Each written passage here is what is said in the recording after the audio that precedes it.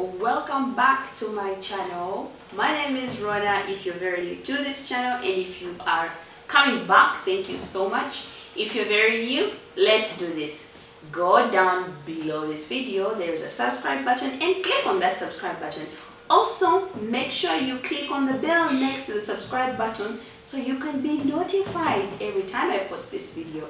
Without further ado let's go into this video. That is my daughter always behind this camera. Oh my goodness. So this is going to be my labor and delivery story. However i'm not pregnant at this time guys. My daughter is one year and seven months. So this right here i think we can remove this right here. This is just some piece of cloth so at 39 weeks, my doctor asks me if I am feeling anything and nothing. I don't feel anything. So he tells me, you know what? Next week, come back and we will examine you. So the following week, I go back. But on that day, I was supposed to go back. That was supposed to be like my due date. Instead of me just going to see the doctor, you know, I was really tired and I just wanted this baby to come out. I packed my bags, I packed everything, put them in the car, and I said, come what may, I'm going to convince the doctor that I, I should have this baby today. So I go to the hospital and I see my doctor and he asks me, do you have any, any, any pains or anything like that? I tell him no. So he's like, you know what, maybe we can induce you. I said, yes. But then he said, you know what, uh, first go to the scan, first go to the scan and we see. And I go to the scan and I check that day it was unusually like long. The guy kept on checking me and checking me and I kept asking is everything okay? He's like you ask your doctor. I'm like why can't you tell me? It's like I'm not in position to tell you that, kind of information. I'm like okay like can't you just tell me like what do you see or something like that? It's like no your doctor will tell you. Okay. So I get my report Funny, I didn't read that report. I take it to my doctor and my doctor is there busy. Then he starts reading my report. He's like, Bronah, did you read this report? I say, no, I didn't. He's like, do you know what is happening to you? I'm like, definitely I don't know what's happening to me. It's like, you don't have any amniotic fluid left in your, in you. Your baby is, has an umbilical cord around the neck more than twice. And I'm like, what? He's like, I'm sorry, I'm sorry to tell you this. I'm sorry I've been telling you that you, you, you're going to give birth naturally, but today is not possible. And I have, unfortunately, I have to perform an emergency section on you. I'm like, what? You know, I was just there and I just saw tears just running down my eyes because I could not believe what I was hearing. I thought I was going to have my baby naturally. I did not ever, ever prepare myself for a C-section. I used to read about this whole birth thing, you know, on Google. But when it would come to the C-section part, I would say, no, I am not having a C-section. I'm, go I'm going to read what I want. But you see, sometimes not everything that we, we want is what we get, right? Sometimes maybe that's not what God has prepared for us. So definitely I was like shocked. Not like, I was actually shocked I was scared. I was so scared. First of all, my um, I was scared. I'd had people say they, they inject you in the back and I was so scared of that. Then I was scared about ever getting my body back. I was scared about the pain. I was scared about so many things. All those things now just started coming back. Like, oh, I'd had this one say this. Oh, I'd had this one say this. I'm like, what? Now I'm going to go through this. I was shaking. So they, uh, the good thing I packed my things, so they, they go look for a room for my, for me, and they take me to, to, is it a maternity wing to prepare me for the C-section.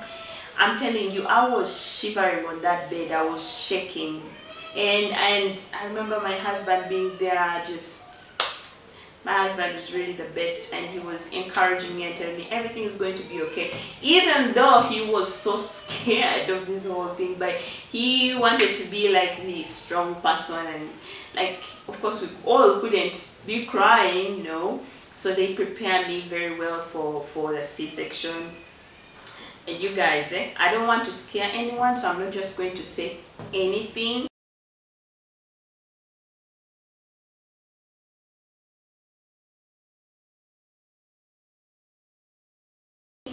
you ever want to know what happens during that time uh, maybe you can google or you can ask me privately but i cannot say this on the on on, on here because i don't want to scare anyone. It's some things you don't really prepare, for them so they kind of come proof and that's what is required. Anyway so at uh, i was ready to go to the theater. I think i went in like at 5.30 around that time.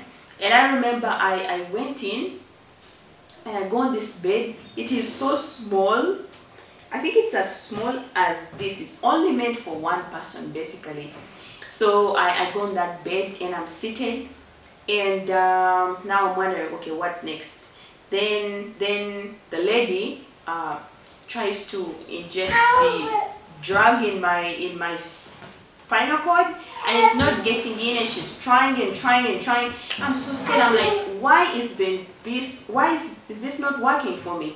And there's this after like 10 minutes of trying and trying and the thing is not getting in some guy just comes bent my spinal cord gets the thing in and i'm already good to go. I'm all paralyzed. I remember my baby came out uh, after covering me and i'm seeing this side.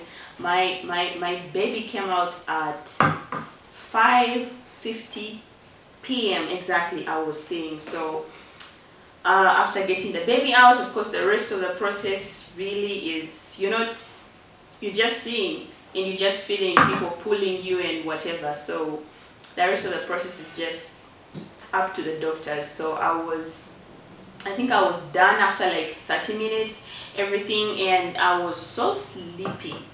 I couldn't keep my eyes open. So I remember I was shivering so much. They had to take me to a very warm room and I, I remember I dozed off. But I would keep opening my eyes and closing them, opening my eyes and closing them.